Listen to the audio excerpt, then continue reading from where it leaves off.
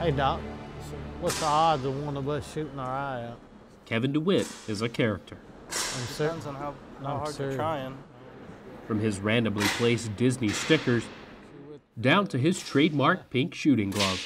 You- gloves are not authorized. Yes, sir, they are.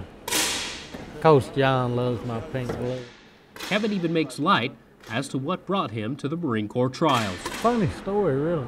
You know, they make those signs that says, like, no diving in the shallow end. Apparently, they make those for a reason. And after suffering a freak accident, his attitude remains positive. Yeah, I'm sitting in a wheelchair and, uh, you know, won't, uh, won't be running any PFTs anytime soon. Thank the Lord. But, uh, but no, I don't, uh, I don't consider myself wounded. And it's that outlook that keeps Kevin on track and a little bit of a crack shot. Get lucky every once in a while. At least that's what I tell myself.